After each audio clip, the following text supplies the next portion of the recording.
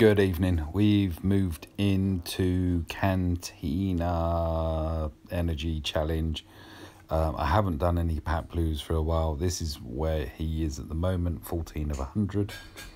And basically, this is just going to be me spamming the multi-sim button until all this energy is gone.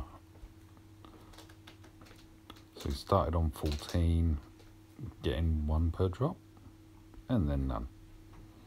There's also a good way to get some purple mats, he says, without any, seeing any purple mats show. But at least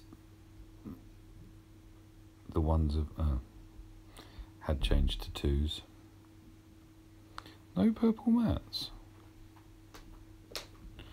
Oh, maybe there are no purple. No, no, I can see purple mats as a possible reward. Wow.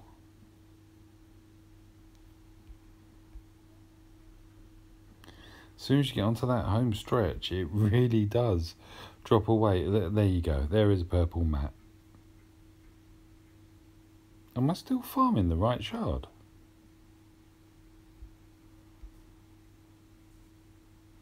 Oh yeah, yeah, there's Paploo. And that's it. That is the farm over. It's a very quick farm.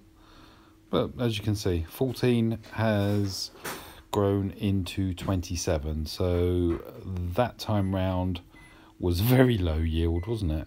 13 shards. But yeah, on the road to a seven star Paploo.